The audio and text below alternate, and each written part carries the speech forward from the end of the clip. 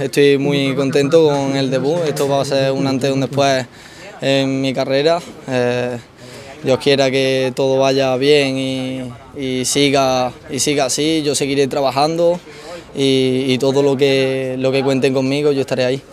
Eh, recientemente has renovado tu vinculación con el equipo, también te damos la enhorabuena por ello. Y a la vuelta del partido, volviendo al partido, ¿cómo, cómo has visto la primera parte difícil? Y bueno, hemos ido por ella en la segunda, pero no hemos podido cortar. Eh, muchas gracias de nuevo. Eh, pues sí, la primera parte ha estado ahí igualada hasta, hasta el primer gol que, que a ver, ellos lo han hecho muy bien, han aprovechado un fallo que puede pasar, puede pasar a cualquiera.